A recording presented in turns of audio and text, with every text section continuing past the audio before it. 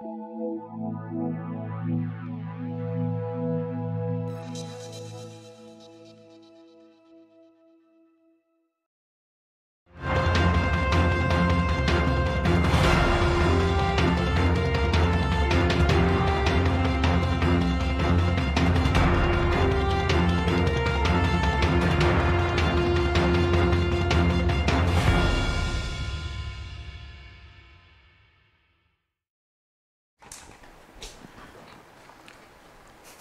Muy buenas tardes, estamos transmitiendo en vivo desde los estudios de Descubre Televisión, es televisión por internet. Esto es en Buena Lid y mi nombre es Óscar Arredondo.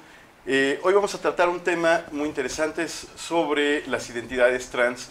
Eh, estamos hablando de personas que nacieron eh, con unas características físicas correspondientes a, un, a las características biológicas de un sexo particular, a un género, con el que no se identifican, con el que no se han identificado y eso los ha llevado a tener procesos para cambiar su identidad, cambiar su nombre y muchas veces cuando estos procesos están acompañados por familias o por un entorno social que es abierto y que es informado, eh, resulta mucho más fácil, pero también tenemos una sociedad muchas veces muy cerrada, un entorno familiar difícil y esto que pudiera ser una cuestión normal, una cuestión este, que toda la historia de la humanidad se ha vivido, se convierte en un, en un verdadero via crucis.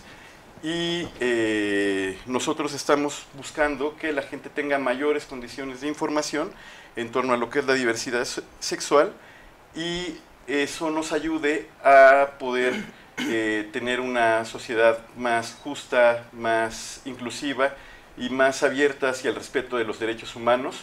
En ese sentido, eh, hoy tenemos eh, como invitados y tenemos el honor de, de que aceptaron nuestra invitación eh, Tania Morales, que es presidenta por la Asociación por las Infancias Transgénero. Mil gracias, Tania, por aceptar la invitación. Muchas gracias. También está con nosotros Cintia Lisset, que es activista por la población trans y preside la organización Evolución Transfénix de México. Cintia, es un honor tenerte como invitada aquí en el programa. Y también está Nathan Ambris, que él es ilustrador y diseñador gráfico, también es activista apoya a los chicos trans en sus procesos de cambio de identidad y encamina a personas cisgéneros hacia procesos de empatía. Él es coordinador del colectivo eh, Jauría Trans. Centro eh, Cultural. Centro Cultural del Centro Cultural Jauría Trans. Bienvenido, Nathan. Y pues sin más, yo creo que vamos por las preguntas. Eh, vamos a por las preguntas. cuando hablamos de personas trans, transgénero, transexuales, ¿de qué estamos hablando, Tania? ¿Cuál es el porcentaje de la población de niños, niñas y adolescentes trans que hay en México? Y si pudieras también decirnos de este porcentaje, eh, ¿quiénes logran cambiar sus documentos oficiales para poder tener una identidad congruente con su autoconcepción y, eh, cambiar su nombre también? Bueno, me gustaría eh, regresarme un poquito en el, en el tema para partir de una base. Todas las personas, absolutamente todas, tenemos una identidad de género. Eh, esto culturalmente, la herencia cultural eh, define eh, la cultura en dos géneros, hombre o mujer. sin embargo, no son las únicas posibilidades de una identidad de género. Hay personas, a todas las personas cuando nos nacemos nos asignan un género basándose en características físicas de órganos sexuales visibles. Entonces, si una persona ve un pene, dice es un hombre, si una persona ve una vulva, dice es una mujer. Sin embargo, el concepto hombre-mujer es una creación cultural. Entonces, todas las personas tenemos una identidad de género, algunas personas eh, no se identifican con esa identidad de género que les asignaron. Entonces, ahí, es, ahí hay como una ruptura entre el género asignado y el género con el que me identifico. Entonces, en el caso de eh, niñas, niños y adolescentes, pues todas las personas eh, en algún punto de nuestras vidas, en general se dice que a partir de los dos años, cuando me preguntan eso es como, bueno, pues mi respuesta es tú a qué edad te identificaste como hombre, si te concibes como hombre, ¿no? Entonces, eh, en la infancia, en general, a partir de los dos años, se, se puede identificar una identidad en cada persona, una identidad de género. Entonces, bueno, eh, es un poco difícil eh, tener cifras específicas de cuántas personas. Tenemos una idea de un 1.02% de la población. Esto es, es algo en estudios en México recientes, eh, porque no ha habido nunca un estudio como detallado de una institución que pueda decir esta es la población. Sin embargo, el INE acaba de hacer un estudio fabuloso que es la consulta infantil y juvenil de 2018. Están presentando los resultados de esta encuesta. Y en esta encuesta podemos ver de un universo de 5 millones y tantos de niñas, niños y adolescentes encuestados, que incluye poblaciones indígenas, poblaciones de la ciudad, este, distintas poblaciones. De esos 5 millones, más o menos como sesenta y tantas mil personas de entre 6 y 17 años se identifican con un género distinto al asignado al nacer. Eso es maravilloso porque entonces tenemos datos de una institución que tiene esta capacidad de poder encuestar a una población este, mayor, tiene mayor capacidad en la República Mexicana y entonces hizo una serie de eh, preguntas que nos permitieron ver esta, esta, esta identificación como o como los dos géneros o como ninguno de los géneros y ya no digamos aquellas personas que no se, o sea, que ya se identifican y marcan esa casilla. Entonces, estamos hablando más o menos de ese porcentaje de la población. De ese porcentaje de la población, en realidad no tenemos tampoco datos de qué porcentaje realmente ya hizo un cambio en, en documentos de identidad. Es muy complicado para la población de niñas, niños y adolescentes porque eh, no sé si sé, bueno, como sabes, hay siete estados de la República Mexicana que reconocen el cambio de eh, un acta de nacimiento para cambiar la casilla del género y del nombre, vía administrativa. Pero ninguno de los estados tiene este procedimiento para niñas, niños y adolescentes. Entonces, eh, el procedimiento es para personas mayores de 18 años. Y en el caso en el que quieran hacer este cambio, tiene que ser a través de sus padres, madre y padre. Entonces todo eso va acumulando este, la imposibilidad de la población para hacer esos cambios. Sí hay registros, por supuesto, sí hay personas que han, menores de 18 años, que han cambiado sus documentos, que se les reconoce eh, su identidad eh, de manera oficial, pero es mínima la población. Y vaya que es un derecho básico humano, el derecho a la identidad. Claro, estamos hablando casi de 1.150.000 personas, que sí es un porcentaje importante de la sociedad. Y, bueno, cuando hablamos de personas transgénero y transexuales, eh, vemos que estamos eh, ante personas que enfrentan constantes desafíos en la vida cotidiana, como eh, ataques y violaciones a sus derechos humanos, desde las cosas más mínimas como el acceso a un sanitario público, pero de ahí al acceso a la educación, a la salud, a eh, los servicios que, ofrece el Estado. Eh, y, bueno, la pregunta aquí sería para, para Lisette y también para Nathan. Eh, ¿Cuáles son las limitaciones que, encuentran? Bueno, también este, para ti, ¿Cuáles son las limitaciones que encuentran que les imponen las leyes y cuáles impone la sociedad por atreverse ustedes a ser quienes quieren ser? Pues mira, yo creo que en la cuestión de leyes, pues era una limitante muy importante, como lo acaba de tocar este también el tema de, de, justo no tener el acceso a la identidad, ¿no?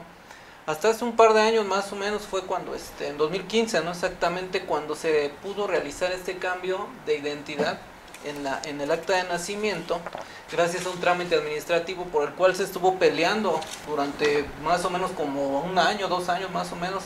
Fue una, una ardua lucha para estar este, trabajando, asociaciones civiles, eh, eh, mucha gente activista, mucha gente que estuvo eh, trabajando en todo esto para que pudiéramos tener nosotras como personas trans el acceso a una identidad, pudiéramos cambiar nuestro, nuestra acta de nacimiento y por ende cambiar la, credencial del INE y todos nuestros documentos. Esto es muy importante, puesto que muchas veces socialmente también te ves eh, en problemáticas como de, pues no coincide mi aspecto físico ¿no? con quien dice que soy. ¿No? Y legalmente también, porque pues al final de cuentas, si tú quieres realizar, este, no sé, sacar un pasaporte, por ejemplo, pues es muy difícil, ¿no? incluso todavía ya con el cambio de identidad, eh, este, ya hecho, de todos modos te dicen, pero es que usted no es, ¿no? O llegas a un aeropuerto y, pues no coincide porque a lo mejor tiene la voz muy grave, ¿no? Y dicen, no, es que usted no es, viene disfrazada o viene disfrazado, ¿no? Entonces, ese tipo de cuestiones te, te enfrentas en el día a día, perdón, de que pues a veces no te dejan pasar, no te dejan ir al baño, no te, o te sacan incluso de los baños, como en muchos casos que hemos tenido en plazas, escuelas, en fin, infinidad de lugares, ¿no? Entonces, eh, es una problemática muy seria que, aparte de que legalmente, como te, te comento, pues no teníamos, ahorita afortunadamente ya, y ya tenemos ese medio de defensa, pero socialmente sí estamos todavía en ese problema. ¿Por qué? Porque, por ejemplo, el caso de los sanitarios, ¿no? O sea, tú quieres acudir al sanitario y si, por ejemplo, en mi caso, yo soy una mujer trans, dice una mujer cis, o sea, una mujer biológica, vamos a llamarla así para que me entiendan, eh, se inconforma y dice, ¿sabes qué? Es que hay un, un hombre metido aquí en el, en el sanitario de mujeres. Muchas veces han solicitado a, seguridad, ¿no? Desde las plazas sobre todo, eh, que nos saquen, ¿no? Del sanitario. Y, y, pues dices, bueno, perdón, yo soy una mujer trans, aparte ya lo avala mi documento, ¿no? Y todavía me sacan del baño, ¿no? Y dijo, creo que voy al baño, pues a lo que todos vamos al baño, ¿no? Entonces, ¿cómo es posible que, sigamos pasando este tipo de discriminación, este tipo de violencia, porque también es una violencia, porque claro que te afecta psicológicamente, ¿no? Entonces es una, una, limitante tanto como lo acaba de decir legal como cultural, ¿no? Entonces, en definitiva, estoy de acuerdo contigo, eh, educativamente tampoco podemos muchas veces tener el acceso ahí como nosotros queramos. Ahorita justo sacó eh, Claudia Sheinbaum, ¿no? Esta, esta ley de que pues el uniforme neutro. Cuando yo dije, bravo, por fin lo logramos, ¿no? Podemos ir niños con falda y niñas este, con pantalón. Cuando de repente, oh sorpresa, al día siguiente, no, nada más aplica para las niñas. Sí, qué pena. ¿no? O sea, ¿somos o no somos? Entonces, volvemos al mismo tema, ¿no? Culturalmente seguimos siendo una sociedad muy mocha, ¿no? No hay otra palabra muy mucha. Y pues desafortunadamente por eso no podemos avanzar las personas trans en nuestros derechos. Entonces, y tenemos que enfrentar esta serie de, de, obstáculos bastante serios que pues creo que una persona cisgénero o que para los que no sepan lo que es cisgénero, una persona que se identifica con su identidad de género, con el sexo que le fue asignado eh, al nacer biológicamente, eh, pues tenemos que enfrentar este tipo de dificultades que esta, esta población de personas cisgénero no la enfrenta, ¿verdad? Y entonces es una cuestión de desigualdad, ¿no? No tenemos el mismo acceso a derechos, no tenemos el mismo acceso a los lugares o a las cosas que cualquier persona pudiera este, pues, tener.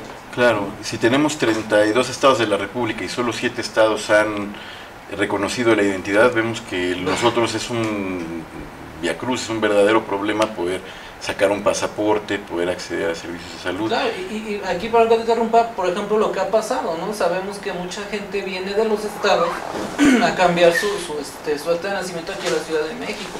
Pero qué problemática si vengo desde Monterrey o desde el último estado de la República a tener que cambiar aquí mis documentos. Ahora, falta la otra parte, que también te quieran hacer el, el resguardo de tu acta en el, registro civil de allá de, tu entidad, porque a veces te dicen, no, ¿sabes qué? Aquí no procede esto, aquí no estamos este, aceptando esto, y te niegan ahí tu identidad una vez más. Entonces, aquí eres este, Cintia, pero allá eres Pedro. Entonces, al final de cuentas, hacen que tú cometas también un delito que es la, la duplicidad de identidad, ¿verdad?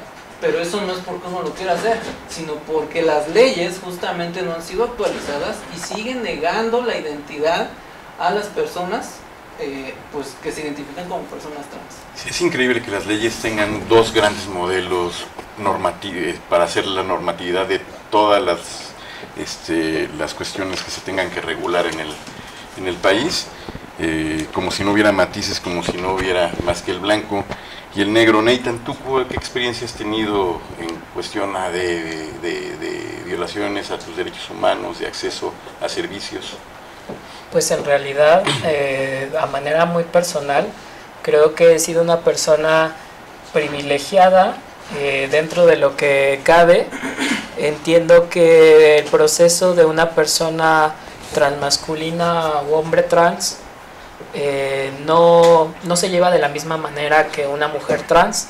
Las violencias se viven de maneras muy distintas. en el caso de los hombres trans creo que es más Em, en, lo, en lo privado más que en lo público. En lo público quizá pasemos más desapercibidos, pero creo que si en cuestión privada em, entrar, entrar al mundo de la masculinidad creo que no es algo fácil.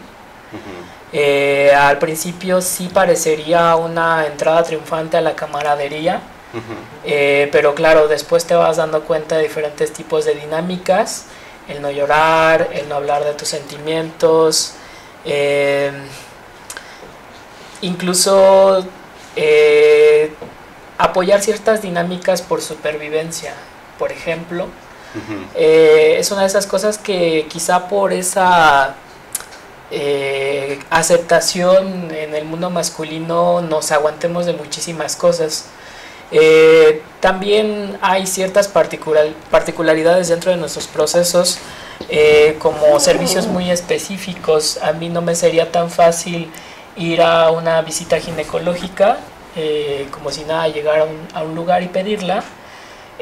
o por ejemplo, a mí me ha sucedido que voy a chequeos a alguna, algún laboratorio y pido un estudio de Papa Nicolau o algún estudio que tenga que ver, no sé, con un, ultrasonido, por ejemplo, pélvico, eh, les extraña mucho que lo pida y es empezar a dar también como muchas explicaciones al respecto de que lo estoy solicitando porque lo necesito, no porque le tenga que hacer una broma a la persona que esté atendiendo. Eh, entonces creo que sí, ah, recordar que lo trans Quizá el imaginario social que se tiene de lo trans son primeramente las mujeres trans, pero entender que dentro de lo trans hay más diversidad e incluso también hay diversidad en cuanto a las orientaciones sexuales y afectivas eh, de las personas trans también, ¿no? Entender que están los procesos de infancias y adolescencias, entender que también hay personas trans no binarias que no se identifican necesariamente con el binario de género hombre-mujer, entonces creo que es importante de quienes tienen su primer acercamiento a las identidades trans entender que no hay una sola forma de transicionar y que no hay una sola forma de eh, expresar el ser trans. No hay personas que también se tienen que callar durante muchísimos años de su vida, hay personas que no transicionan por las mismas circunstancias de vida que les impiden realmente ser eh, quien realmente son.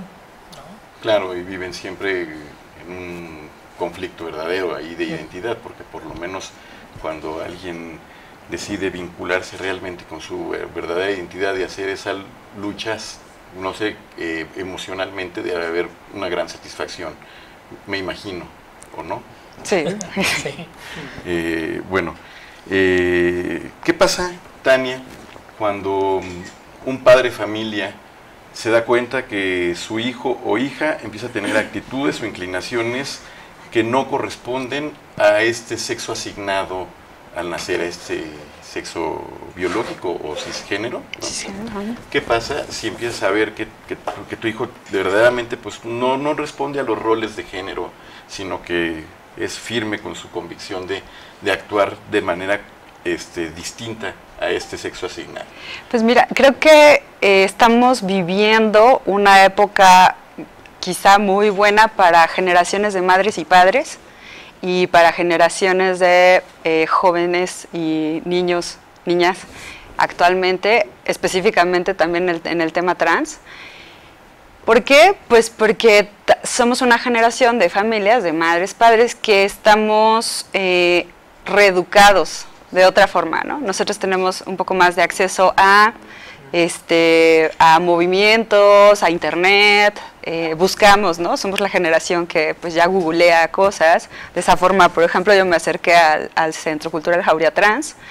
Eh, y entonces somos, somos eh, madres y padres mucho más actualizados en temas y eso quizá nos permite ser un poco más empáticos o entender lo que está sucediendo y no nos quedamos con el estigma de este, una persona trans como antaño es eh, esta definición, ¿no? Ahora le buscamos, entendemos, vemos incluso videos, eh, escuchamos a las personas trans jóvenes, adultas, y yo creo que eso nos permite abrir nuestra mente y saber que ha sido un tema de injusticia histórica, ¿no?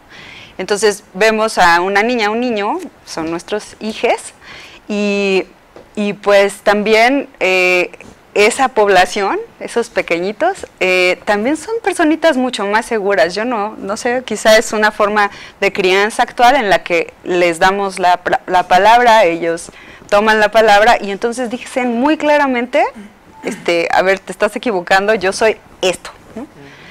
Y pues tampoco es como que nos quede de otra, ¿no? O sea, yo, yo pienso que si mi hija o mi hijo me está diciendo quién es, yo, yo sé cómo está el mundo afuera sé la cantidad de complicaciones que va a tener en el colegio, porque pues la institución educativa se hizo para personas cisgéneros, heterosexuales, bla, bla, bla. Este, o sea, empezando por la educación y en el mundo en general. ¿Qué voy a hacer yo como familia, como madre? ¿Voy a empezar por la casa a negarle quién es? Cuando hay todo un sistema de negación de las personas trans, pues no, todo lo contrario, ¿no? Me, me pondré a estudiar, pasaré un proceso de aprendizaje y entonces, pues mi corazón es, mi corazón es trans, ¿no? También. Y entonces me sumo a, a, las personas trans.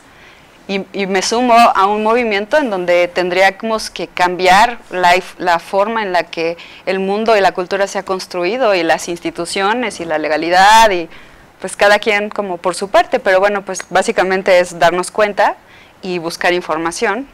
Y entonces somos familias, habemos muchas familias, la mayoría de las veces también el tema de género, es, de educación de género es muy importante, eh, yo creo que el 80% eh, de las personas que apoyan a hijas, hijos, hijes son madres. El papá, este, hay papás maravillosos, pero el papá casi nunca está, siempre son las mamás. Casi el siempre. papá, o sea, desde una educación o desde una cultura machista es mucho más difícil asumir el que las personas tengan esta necesidad de cambiar de, sexo. es una sociedad patriarcal. Exactamente. Completamente, ¿no? Y en esta sociedad patriarcal, eh, me imagino, Nathan, que el hecho de, pasar al, al, bando de los machines, al bando de los que están más seguros en la sociedad, de los que no corren riesgo, son menos vulnerables, ¿a ti te hace sentir más seguro? ¿Te hace sentir protegido de alguna manera? ¿O te hace sentir que estamos verdaderamente bien tarados todavía? Que nos falta mucho por aprender. ¿Ves en los hombres que estamos también este, siendo víctimas de nuestro propio sistema patriarcal, de nuestro propio machismo? Este, dinos. Mm, sí me di cuenta de una gran diferencia y siempre cuento esta anécdota de antes de transicionar cuando yo estaba en el espacio público y después de transicionar. Antes de transicionar ya no podía llegar eh, más tarde de las diez y media de la noche. Em, muy pocas veces llegué a tener algún incidente de acoso. Si los tuve, quizá no al grado como muchas historias que hemos visto en redes sociales eh, pero al momento en el que yo transiciono, yo desaparezco. Yo no soy visto como un cuerpo al cual se le puede tocar, un cuerpo al cual se le puede violar. Eh, desaparezco en ese sentido, pero ahora me convierto de alguna manera en un potencial que puede agredir a un cuerpo feminizado. Y eso fue muy fuerte para mí, esa experiencia. Eh, entiendo como de repente las frases de no todos los hombres, pero sí los suficientes. Exacto. ¿No? Entonces eh, creo que el haber estado y el, el, que se me haya asignado una socialización como mujer me hizo ser más sensible a ciertas situaciones que hoy en día infinidad de veces se cuestionan, ¿no? En cómo debe de ser la respuesta correcta desde el posicionamiento de las mujeres, ¿no? que ya están en un hartazgo de la situación que, actualmente están viviendo en el país, ¿no? esta situación de violencia y, de asesinatos. Y mm, la verdad es que sí muchas veces eh, me ha dolido colocarme en la categoría hombre, es por eso que yo eh, me nombro desde la transmasculinidad. La transmasculinidad me da la opción de cuestionarme más, más cosas del género, el cuestionar la misma masculinidad, el de decir, no voy a soportarlo, no voy a soportar esas dinámicas, no tengo por qué en absoluto. Entiendo que eh, aquellos hombres cisgénero, no estos hombres que sí se reconocen con eh, el género asignado al nacer, entiendo lo difícil que es que se den cuenta por la programación de género que se les hizo desde muy pequeños. ¿no? O sea, es, prácticamente están dentro de la Matrix y no se dan cuenta. No se dan cuenta en absoluto.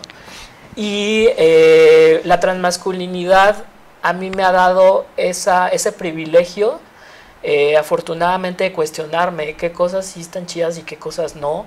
Y tengo esa posibilidad de que en, algún momento si se está hablando de una morra o se está compartiendo el pack de una morra o lo que sea, pues sabes qué, basta, esto no, a mí no me late. Y, y qué estúpido eres si tú estás siguiéndole como este jueguito porque no está chido. ¿No? Entonces tengo afortunadamente eh, esa oportunidad y es la, la, oportunidad que me da la transmasculinidad.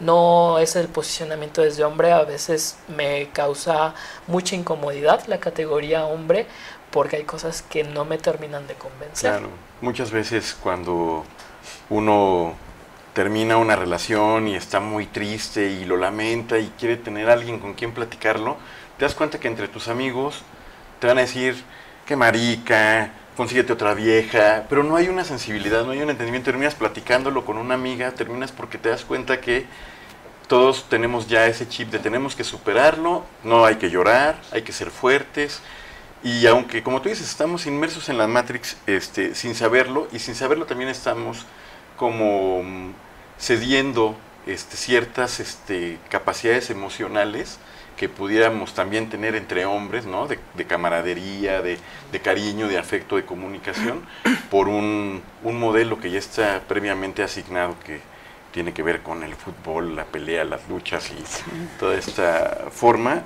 Eh, y, bueno, esto tiene que ver con una pregunta que te quiero hacer, eh, Cintia. Eh, en, este, en este clan masculino, en este machismo, cuando alguien decide abandonar ese grupo ya genera para los hombres como, como que te quieren cobrar esa factura, no solo por abandonar ese grupo de los masculinos, los que están en el, en el privilegio social, sino también porque te transformas en ese objeto de deseo que tienen los hombres, que es la mujer, ¿no?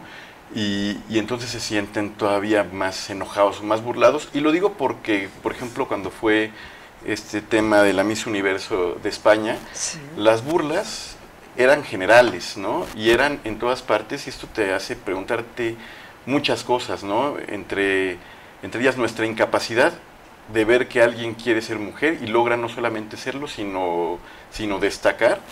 Y en esa forma de destacar, la sociedad masculina se siente ofendida y a veces esa ofensa pues puede ser algo normalizado y en esa normalización el escalamiento o la manera en la que puede escalar la violencia nos puede llevar hasta lo que sería un transfeminicidio o una serie de transfeminicidios. Es un tema muy fuerte, pero ¿cuál es el riesgo que como mujer trans se vive en México? ¿Cuál ha sido tu experiencia en tu organización también, en los temas que ves? Justamente, ¿no? Como, como decía Nathan, eh, en el caso de los hombres trans, y no porque diga yo no lo padecen, no, también pasan violencias, sí, y conozco bastantes tipos de violencia sexual, de todo tipo.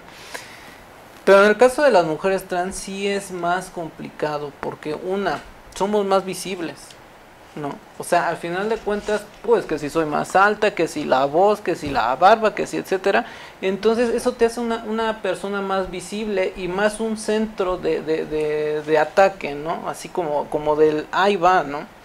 Yo, por ejemplo, en mi caso, eh, eh, pues me fue un tanto difícil, ¿no? Porque efectivamente el haber dejado el mundo de la masculinidad eh, fue como, como haber traicionado, ¿no? A los hombres, así como, como dices, se sienten heridos, ¿no? O sea, parece eso. ¿Por qué? Y no todos, claro, pero, pero sí, como, como dicen, ahí están los suficientes, ¿no? ¿Por qué? Porque llega ese punto en el que tú te presentas, o yo me presentaba como Cintia ante, ante la, la, mi círculo social cercano, vecinos, etcétera, y era como de, ay, la, ¿no? O sea, ahí va el puto, ¿no? Entonces siempre ha sido ese señalamiento, ¿no? Como de cómo es posible que hayas este eh, eh, cambiado, ¿no? O hayas querido eh, ser mujer, ¿no? Aquí queda algo que, que, tal vez muchas veces no entendemos, como, dicen ahí tan, tanto hombres como mujeres, porque también las agresiones han sido de mujeres hacia mí, ¿no? O sea, no solamente de hombres, también de mujeres. ¿Por qué? Porque muchas veces no entendemos eso, ¿no? No es tanto el que diga yo, ay, me quería ser mujer. No, no, o sea, yo no me quería ser mujer. Simplemente yo, me, me, me, mi, mi, convicción me dice, yo soy una mujer. Y efectivamente, desde los 3, 4 años yo dije, pues yo soy mujer, yo me siento distinta, no, no, no, no, no soy un niño, ¿no? Entonces, eh, fue, fue pasando esta, esta cuestión hasta que decidí realmente transicionar pero el señalamiento social es muy fuerte.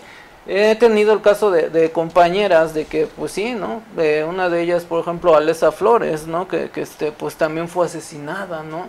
Eh, compañeras eh, eh, de trabajo sexual, por ejemplo, ¿no? Que también tocamos esos temas, pues tiro por viaje son asesinadas, ¿no? Porque el odio, por ejemplo, del cliente hacia la mujer trans es demasiado fuerte. ¿Por qué? Porque sienten que se están metiendo con un hombre cuando no es así. Pero desafortunadamente socialmente creemos que sí es así, porque todo lo genitalizamos.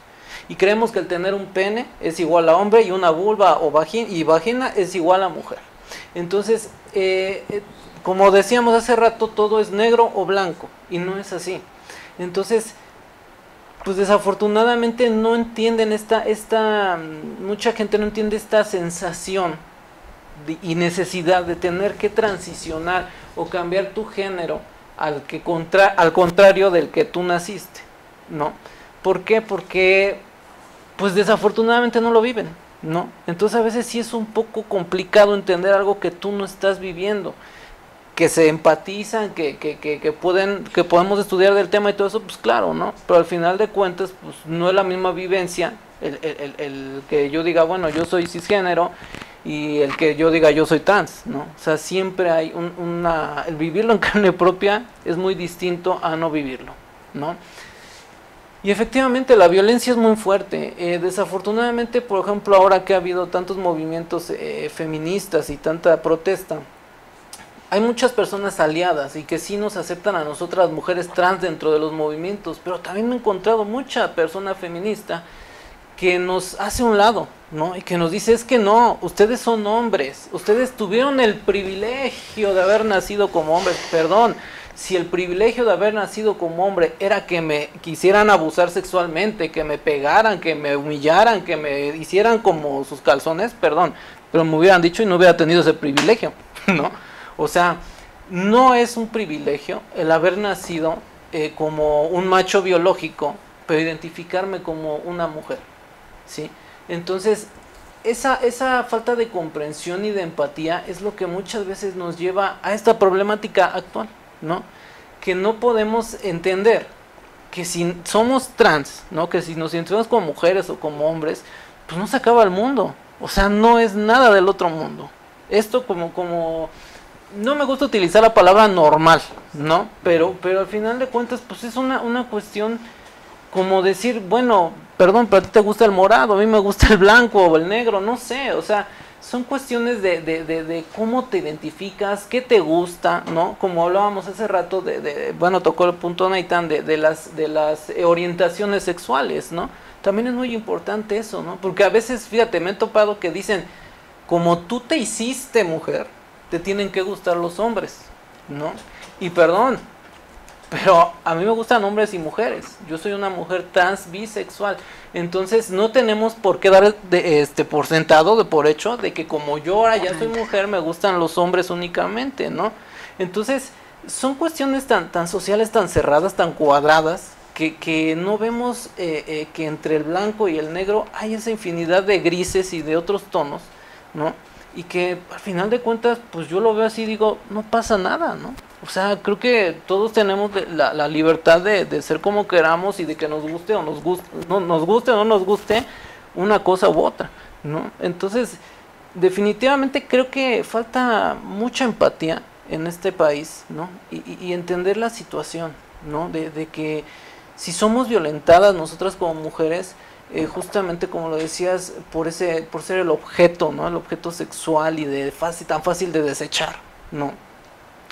Eh, creo que, que, hay que entender un poquito más, ponernos un poquito más en, el, en los zapatos de la otra persona. Porque sí, efectivamente, las burlas, como con la Miss Universo, las burlas eh, ahora con lo de las protestas feministas, híjole, son una infinidad de cosas, pero muy graves, burlas que de veras dices, neta te cae que, que, todavía están tan atrasados este socialmente hablando, culturalmente hablando. O sea, no, no es posible que, que sigamos creyendo que, que porque a mí no me toca o porque a mí no me pasa, pues a nadie más le pasa, ¿no? Entonces creo que ante todo debemos de tener esa empatía, escuchar las historias, ¿no? También es muy importante porque a veces damos por hecho que, pues bueno, yo ya transicioné y no le pasa nada, ¿no? A los demás no les pasa nada y como a mí no me pasó nada, pues a los demás también. No, también es importante escuchar a las personas, ¿no? Y, y sentarnos y platicar y decir, a ver, cuéntame qué, qué ha pasado contigo, qué, qué, qué dificultades has enfrentado, ¿no? Y creo que eso nos va haciendo la empatía, ¿no? Entonces, claro. Sí, importante. pues sí, uno puede ser hombre, puede ser mujer, pero también puede tener gustos por los hombres o las mujeres, puede perfectamente puede haber un hombre trans homosexual, una uh -huh. mujer trans lesbiana, lesbiana o, o, bisexual, o bisexuales. O, y cuando dijeron binarios, ¿qué significa binarios, Nathan? ¿Qué significa? Ah, no binario. No binario. Sí, una persona trans no binaria, porque también las personas no binarias son trans. Justo el común que tenemos todas las personas trans es que no eh, nos identificamos con el género asignado al nacer.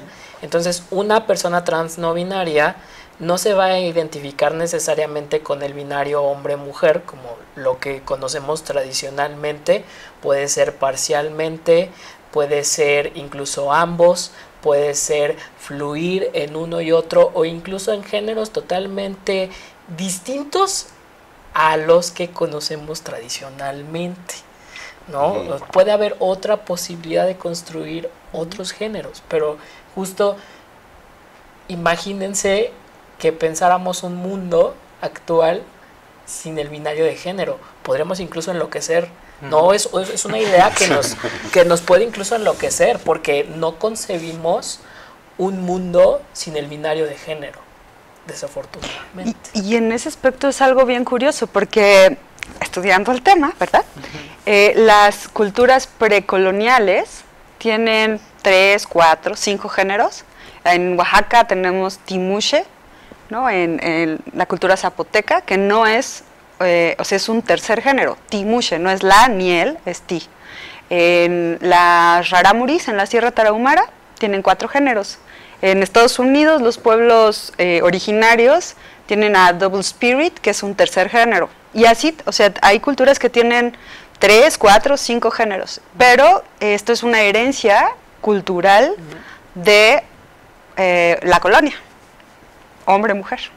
Y si es hay impresionante. que entender que eh, al mismo tiempo las personas trans no binarias tienen necesidades bien específicas. Por ejemplo, las personas trans no binarias no están contempladas en ninguna casilla, por ejemplo, en cuanto a género. O sea, está hombre o está mujer y no hay ninguna opción para las personas no binarias. Por ejemplo, personas no binarias que quieren modificar sus corporalidades, eh, quizá masculinizarlas o feminizarlas, o estar en estados incluso intermedios en sus corporalidades, no son como tal aceptadas en servicios de salud que atienden a personas trans binarias, o sea, hombres trans y mujeres trans. No son realmente aceptadas porque no entran, no hay un protocolo, pues si a duras penas hay protocolos médicos para personas trans binarias, para nada hay para personas trans no binarias. Entonces sí hay que identificar también que las personas trans no binarias tienen muchas necesidades y no hemos llegado todavía eh, ni un poco a empezar a atenderlas. Claro. Vamos a ver qué nos dice la gente que nos está viendo en vivo. Eh, tenemos aquí la participación de Olga Quintana que nos dice que ojalá estos programas ayuden a todas las personas a entender que todos somos iguales, heterosexuales, homosexuales, trans, todos somos iguales y debemos aceptarnos y apoyarnos y respetarnos siempre. Me parece muy afortunado, como siempre también tenemos algún otro comentario que dice que deberían de aceptar lo que son y quererse así. Si yo me identificara como europeo, me tengo que pintar el pelo y, decolor, y decolorarme la piel, pregunta eh, Manuel Bucio. Este, bueno. Pues es que justo es lo que yo decía, ¿no? O sea, a veces no entendemos las necesidades o la forma de cómo te, te sientes o te concibes tú, ¿no? O sea, esto no es una moda, no es un de, ay, pues me gustaría, no. O sea, es una necesidad interna que te dice yo soy esto. Claro. Así como, como tal vez esta persona se concibe y se, y se asume como un hombre, ¿no? Pues bien no podría asumirse como un hombre, ¿no? O sea, no necesariamente tienes que asumirte o aceptarte como es, ¿no? O perdón, yo así como se los digo, ¿en qué libro, en qué ley o en qué religión te tienes que aceptar tal y como eres? Porque hasta ahorita nadie me ha podido decir, hoy, ¿en qué ley dice que me tengo que asumir como nací?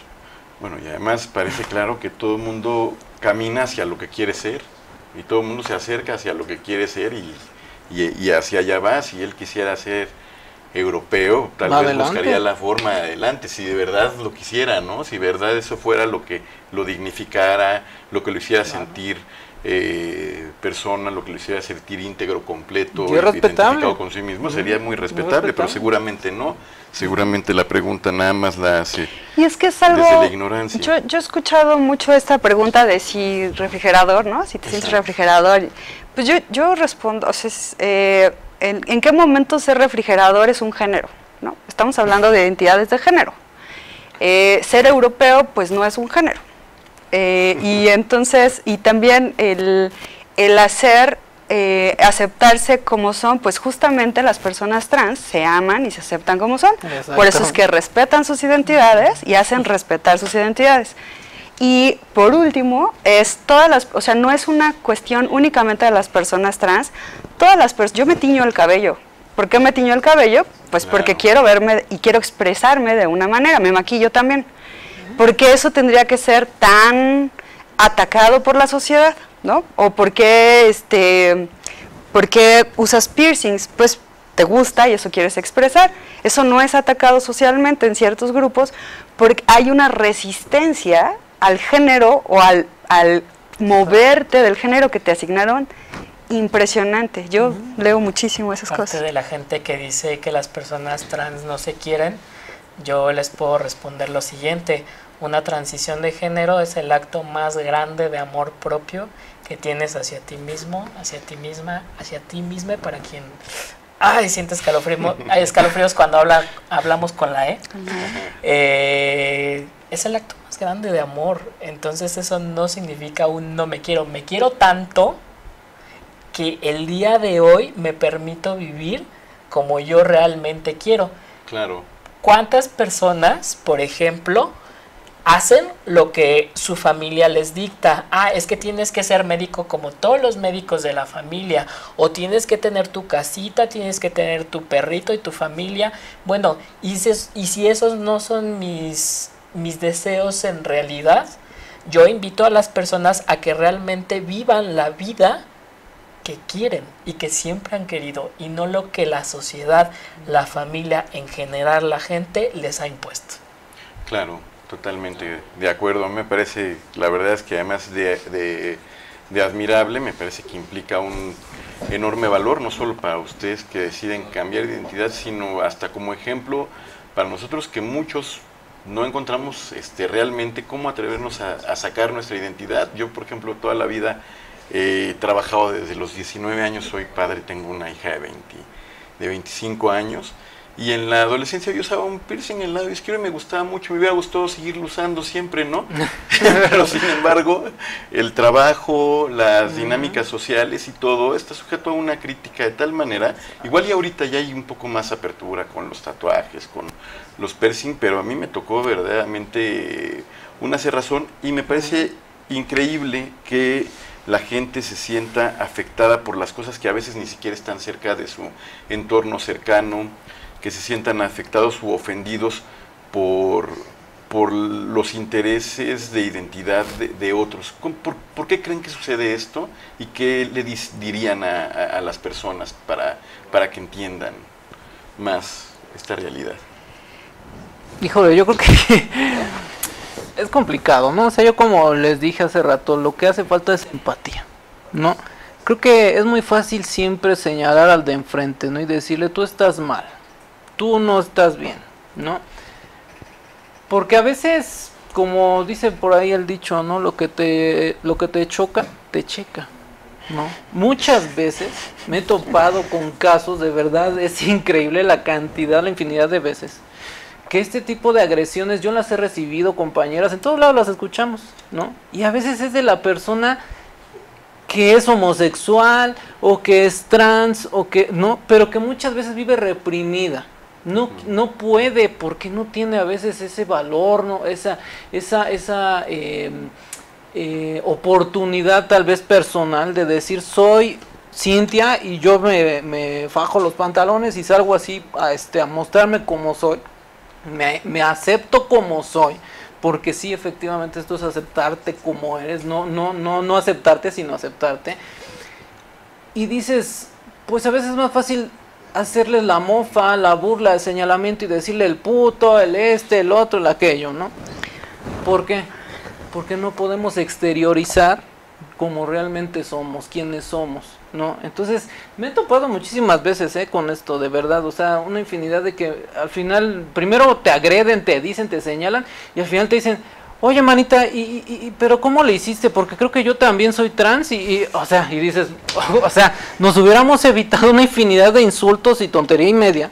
Si al final de cuentas tú hubieras dicho, sabes qué, creo que tengo esta inquietud porque me parece que soy trans, o me parece que soy gay, o me parece que soy X cosa, ¿no? Entonces, me siento vulnerable. Exacto, ¿no? A veces como hay tanta vulnerabilidad es mejor como sacar ese lado rudo y decir, no, lo voy a hacer pedazos, la voy a hacer pedazos, ¿no?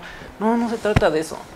Creo que muchas veces es mejor tratar de buscar la ayuda tanto profesional como de un amigo, de una amiga, yo que sé, un familiar, y decirle, ¿sabes qué? Creo que está pasando esto. En lugar de irme sobre ti y quererte destrozar.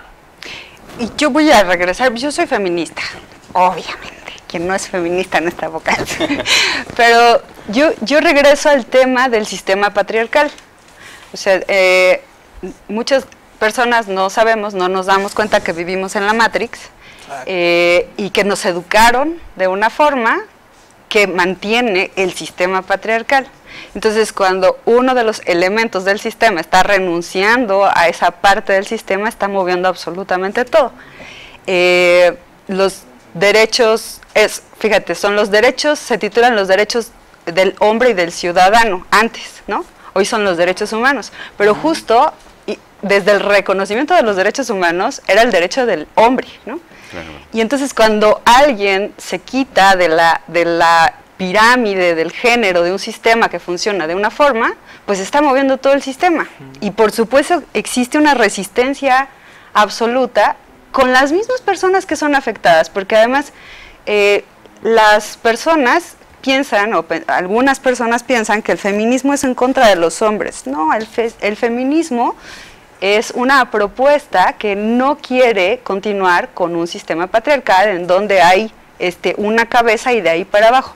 Y yo considero que incluso la población mexicana, pues tendríamos que ser todos feministas, porque pues no somos, los hombres que existen acá no son los hombres blanco, europeo, heterosexual, cisgénero, de familia rica, este, entonces ya de, por, nada más por ser mexicanos, pues están abajo de la pirámide, ¿no? Entonces tendríamos que ser todos feministas, bueno, esa es una propuesta, sugerencia, pero yo creo que es una resistencia muy grande a, a estar, a que se les mueve todo el sistema, se nos mueve, ¿no?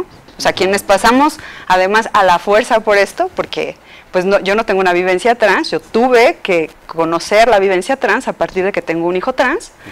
Y entonces, por supuesto, pasé por este, por este proceso de se me está moviendo todo lo que yo pensaba. Ahora digo qué maravilla que me sucedió porque entendí cómo funcionaban las cosas. Cuando tu hijo te dijo yo, yo soy hombre, ¿qué edad tenía? Trece años. Trece años y él ya está en la escuela como hombre, siendo menor de edad, tú hiciste todo la gestión como madre para el cambio de su Sí, eh, sí, sí, el proceso fue, yo soy abogada y entonces a partir de la propia experiencia eh, me di cuenta que no había una asociación o alguien que hiciera un acompañamiento a, familias con personas menores de 18 años. Y este, por eso es que fundé la asociación civil y después me di cuenta de la injusticia de trato, ahí no, no solo, o sea, no es el tema trans, sino el grupo etario. Entonces hay un diferente trato a las personas menores de 18 años que a las personas mayores de 18 años. Hay una cantidad de trabas, entonces es como la población en la que se van acumulando todas estas injusticias. ¿no? Y eh, yo hice una solicitud directamente al colegio, nos fue bastante bien.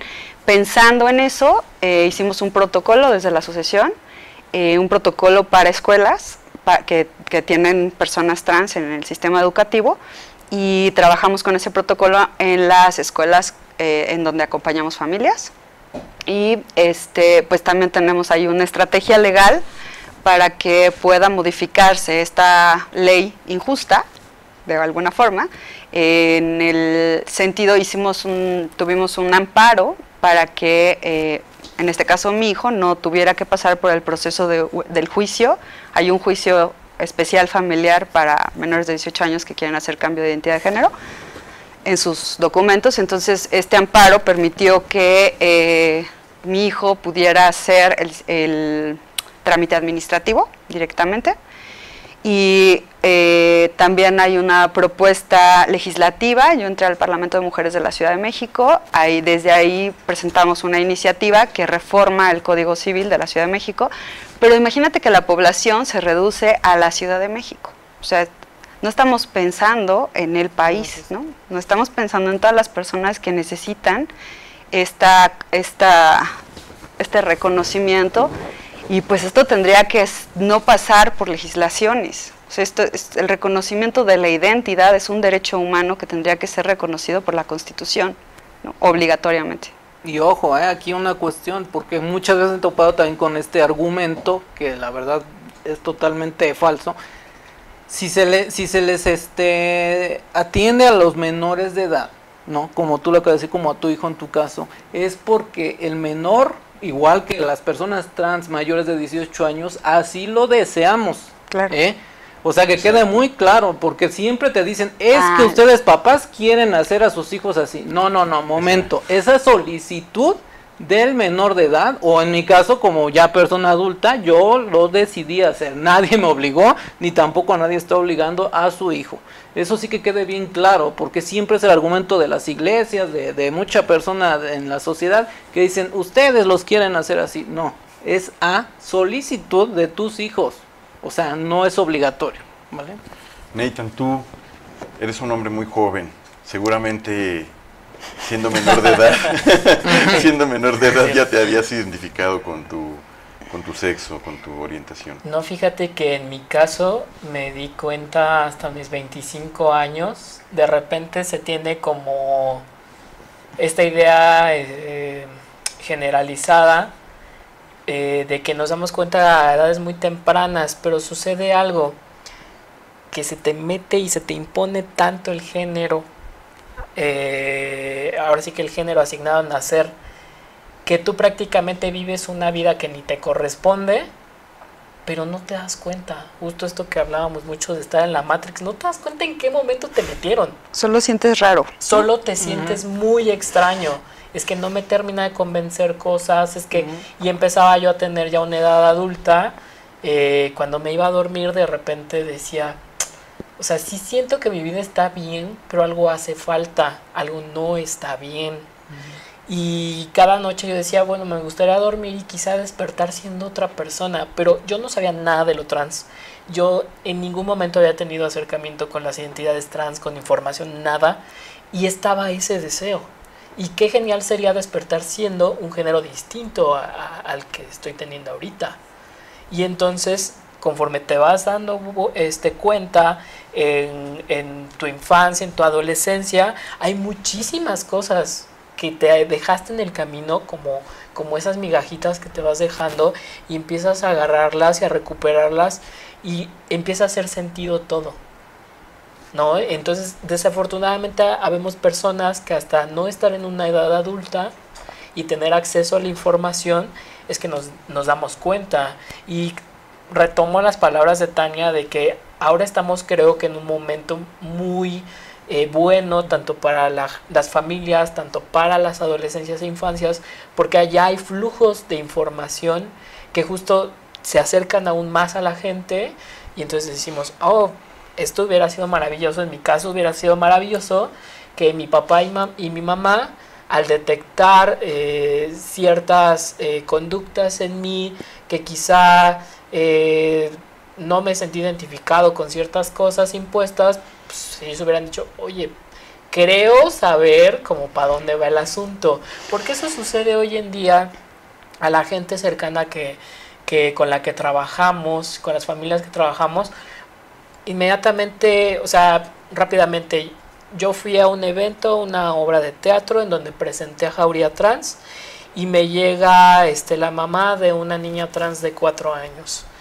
Llega y me dice, oye, como yo escuché que tú hablas de que hay un lugar para personas trans, ¿sabes qué? Esta es mi situación, es que mi hijo o quien yo pensaba que era mi hijo en realidad no es mi hijo, es mi hija, ¿no? Y necesito ayuda. Y al día de hoy es una niña súper feliz en la que la ves en un bailable eh, de música regional como cualquier otra niña, con su falda, bailando y divirtiéndose tal cual ella es, ¿no? Entonces, son esas cosas que dices gracias a, la época en la que vivimos, gracias a, estos medios que nos acercan a la gente, gracias por existir espacios que están diseñados desde personas trans y para personas trans, ¿no? Entonces es qué, excelente que, que, estemos en un tiempo bueno para estas familias. Eso, eso que comenta Anita me parece así fundamental, porque entonces eh, hoy somos madres y padres que no queremos llevar a nuestro hijo hacia el lugar donde sabemos que es el hombre, ¿no? O nuestra hija hacia el lugar donde... No, nosotros ahora que eh, escuchando sus propias experiencias, todo lo que han todo lo que ellos generan como información, este, todas estas formas de pensar, eh, nos las transmite a las familias y entonces podemos también educar a una nueva generación eh, en el respeto, o sea, no es, mi hijo no tiene por qué ser un jugador de fútbol si no quiere, ¿no? Y si le encanta la danza, y mi hija no tiene por qué ser este la princesa Sofía, ¿no? O sea, puede ser la guerrera, eh, la guerrera ¿no? Entonces eso es muy bonito. Claro, hay que respetar eh, lo que los niños quieran, la que la gente quiera, lo que su espíritu guía y no eh, guiarnos por roles de género, ¿no? Los únicos roles que aceptamos aquí son los de canela. Eh, bueno, pues agradecemos muchísimo su asistencia, Tania, Neitan, Lisette. Muchísimas gracias por haber estado aquí en, en Buena Lid. Mi nombre es Óscar Arredondo y, esto fue en Buena Lida, este fue el tema de identidades trans y agradecemos mucho su, su presencia y su participación. Nos vemos el